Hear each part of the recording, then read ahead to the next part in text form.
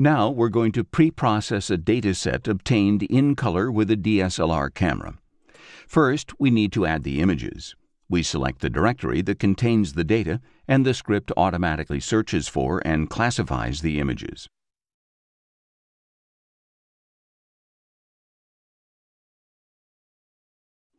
With a color camera, we must always enable the Color Filter Array Images option. The Bayer pattern is usually identified correctly based on the image metadata, but if we encounter any problems, we can always select the color pattern manually. For images taken with a monochrome camera, we recommend using Drizzle. But for images taken with a color camera, where we have to interpolate the Bayer pattern, using Drizzle is essential because the interpolation algorithms can seriously affect the photometry of the stars. In many cases, the interpolation will completely invalidate the color calibration and measurement.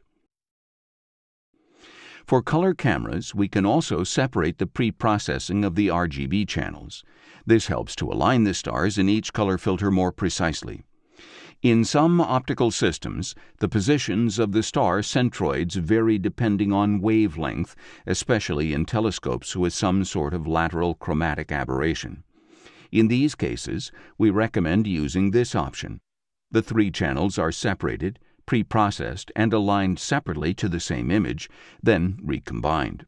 The end product is a color master image, as though the primary color channels had never been separated. Remember to always enable drizzle. For color DSLR cameras without temperature control, we must always optimize the darks. But to do this, we also need to have bias frames because to scale the dark, first we need to subtract the bias so that we're only scaling the thermal signal. We would use this same configuration for dedicated color cameras. Finally, we select the output directory save the configuration in an icon, and run the script.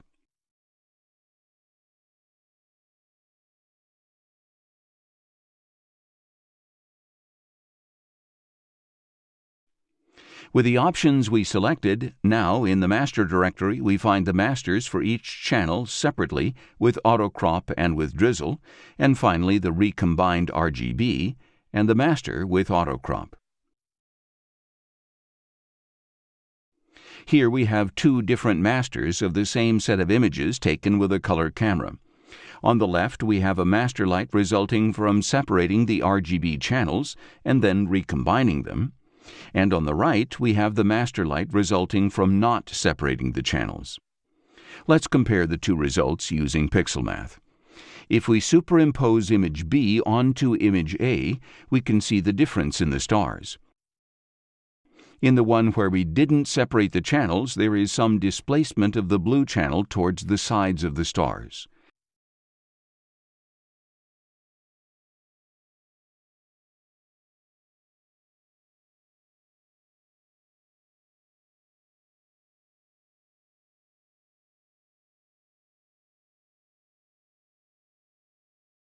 We can also use WBPP to pre-process time-lapse images.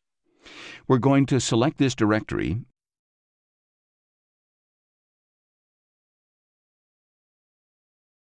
and in this case we're only going to apply a darks and bias calibration without using any flats. This image series was taken with a DSLR camera with a wide-angle lens, and all we want to do here is remove the hot pixels from each frame in the time-lapse. As the camera doesn't have any temperature control, we must enable the Optimize Master Dark option. And as we're going to scale the darks, we also need the bias frames. In this case, the file names don't tell us what type of image each one is, but the darks and bias frames are in specific folders called dark and bias, and WBPP can therefore recognize them. If all the images were in the same directory, the script wouldn't be able to classify them and would identify them all as lights. We can always use the buttons at the bottom to add images as bias, darks, or lights.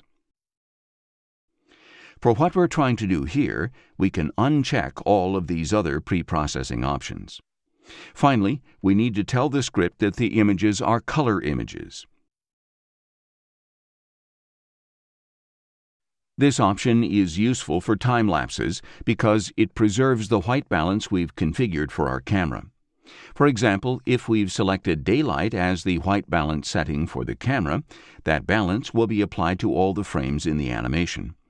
If we want to preserve the camera's color calibration, we won't need to do any additional color calibration in the post-processing stage.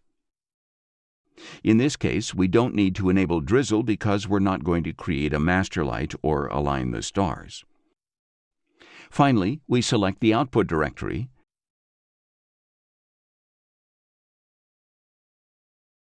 and now we click on Run.